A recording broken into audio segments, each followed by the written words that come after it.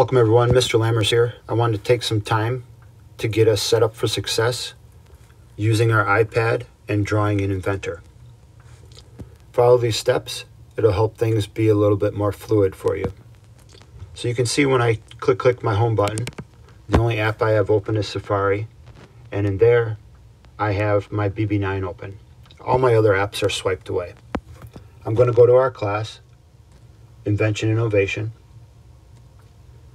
open that up, and then on my home screen, I'm going to take a look for my icon, the inventor icon, touch on that to open it up. I'm going to scroll down past our learning targets, I can statements, and our look fors for assessments. I have those videos in here from last time.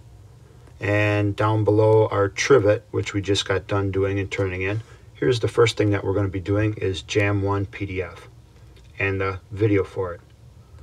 I'm going to open up that drawing, that PDF drawing, and I'm going to upload it to Notability. Touch on the upload button, find your Notability, put it in there, create a new note, import, and done. Close that tab out in BB9. Now I'm back on my BB9 site. When I click click my home button, the only thing I have open is Safari. Now I'm going to go find my Notability app, open that up, find my OneJam PDF drawing.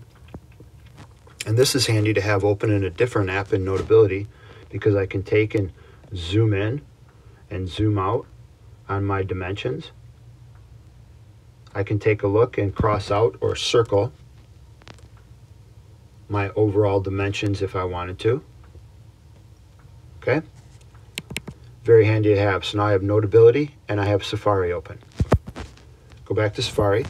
I'm still in my BB9 site. I'm going to touch on the video for OneJam. Drawing. That first video that's there. Drawing. it's going to load up for me. And creating. And what I want to do is I want to take, pause that, and open it in YouTube. Okay.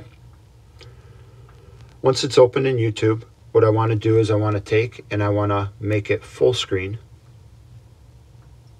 So that takes up my whole entire screen here. Creating toolpaths. And from here, I can take and play. I can fast forward. I can rewind. I can pause it and move back to something else is we're going to be using Okay. So now I have YouTube Open Safari and I have my PDF drawing in Notability. Once I have that, now I'm going to go to my Citrix workspace, open that up, launch Inventor. Halfway through the process of logging on, it's going to ask you for your credentials. So we're going to type those in.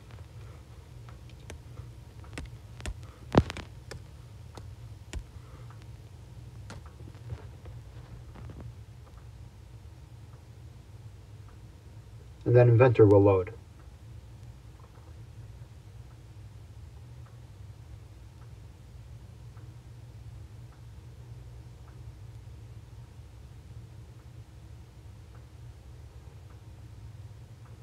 With Inventor open, now I can, as I have Workspace, Inventor open in Workspace, I have my Notability note, and I have YouTube video in Safari. And here I could take my I can play. I'm going to click on my. I've got a little fast forwarded on me. I'm going to rewind that a little bit. And it's extruded back 0.75. I can play the video, back and take a look, see what the instructions are. Look go off of a PDF video, or you can is also go attached. off of a PDF that is also attached. Going back to my part, I'm going to start with my rectangle Going tool. Going back to my part, I'm going to start with my rectangle tool.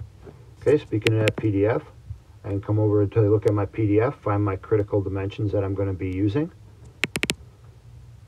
I could reference Safari again, let that play. I want this to be extruded to a depth. I want this to be extruded I can pause depth. it, I can rewind it, find where I want to be in that Box. drawing. And then type 3 in the vertical dimension. And then type 3 When you're finished with that, press dimension. When you're finished with that, press Okay, so 5 and 3 for my dimensions. I can go to my Notability app, see 5 right here, 3 right here. Go to my Inventor, and I can start. We all talked about before having that keyboard open, pinning that top strip along there. There is a mouse available to us. However, I only like using this mouse when I need to right click. All the other time when I draw, I use the pointer tool right here. So to start, I'm going to get my new, get my standard IPT, open up that sketch. When it loads, I'm going to go to the top ribbon bar. I'm going to select that 2D sketch just like we always have done. Go to my XY plane. Click front in my world view cube to start off. And then I have to go back and get that rectangle tool. When I come down, make sure you're starting at the origin with that green dot. Stretch out your rectangle. Now if I forgot my dimension, I can always go back to the video, or sorry, the PDF file that's open in Notability.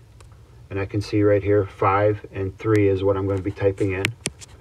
Or I can go to my YouTube video. It's going to make me rewind it. See what the video drawing is that's in there. I could watch that to get it and then go back to Inventor bring my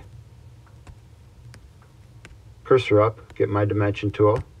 I can place this dimension on here. Click click in the edit dimension box. Enter in my 5 dimension. And come on over, get that side dimension as well. That one was 3. Click click in your edit dimension box. Backspace out that dimension.